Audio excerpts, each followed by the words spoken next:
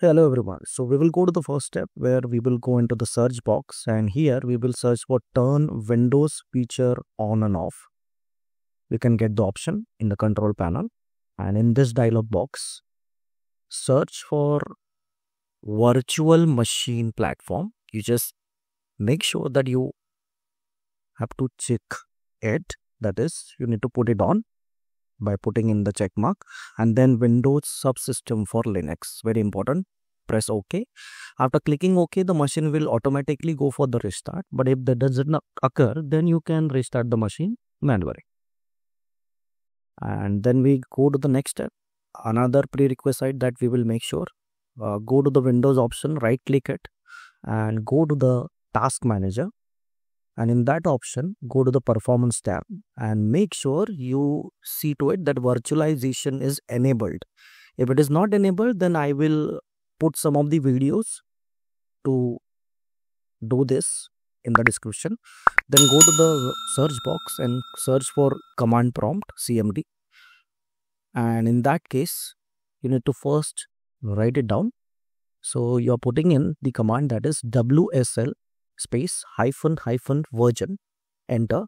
You will get the windows subsystem for linux version the latest version. So it is now ensured that it has been installed. And to make sure that it is updated next command is wsl space hyphen hyphen update enter.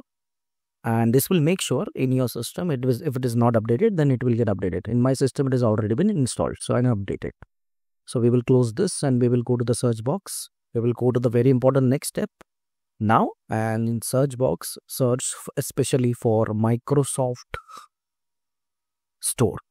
And in that microsoft store you just click it open. And in the search box you need to type in the linux operating system that we are going to install that is ubuntu. And make sure that you will type in this particular manner ubuntu or ubuntu and lts and you can see the latest one. And click the option get. The downloading will start and you just wait for it to download. Uh, this will automatically happen and it will make sure that the system we are going to install is now there are many distributions. Ubuntu is one of the famous distribution available and in windows system subsystem for linux that is the most preferred one. And accordingly we are uh, downloading it. So it is about to get finished. Okay. Now close this and go to the search option again. And in that search option especially you type ubuntu.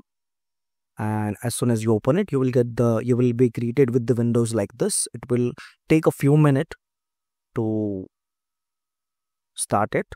And then you will get the option to enter the new unix username. Accordingly you type in your username the, the way that you want.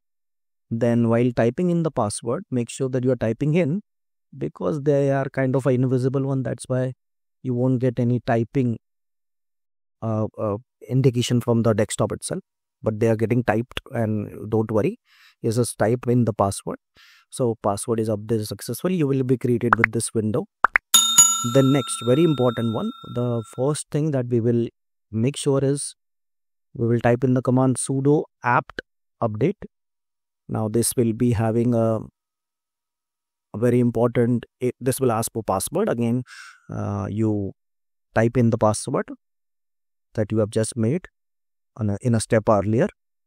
Okay i made a mistake. Again i am putting in the password. Okay so this has already started to get the packages and it is getting updated. You can see this it is getting updated. And now in this particular line you type in the next very important to install the GROMACS. What we are doing is sudo apt install gromacs. Don't worry i will give all this in the description below all these commands in the description below. And this will ask you to continue. Type in the capital y so that it will download the necessary files and will start with the installation process and type in the y enter and you can see it has already started with the installation and you will get the idea by looking into this window. Uh, this will definitely tell you. You can set. Okay, so this is our window.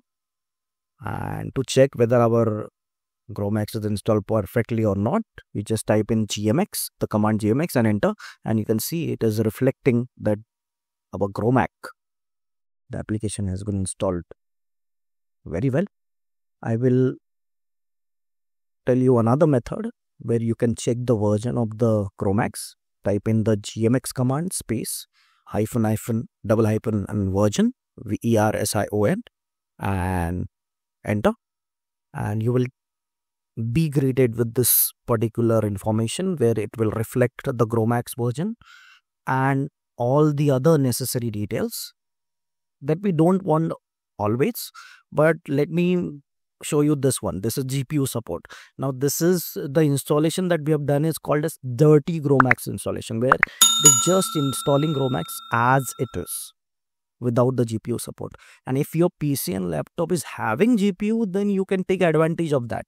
And for that purpose, there are other videos and information, um, the tutorials. I will be linking those in the description below. You don't have to worry. And this is what. So, congratulations, we have successfully installed the GROMACS onto our system. Bye bye. Subscribe to my YouTube channel, The Bioway on YouTube and press the bell icon so that you will never miss another update from my channel. Thank you.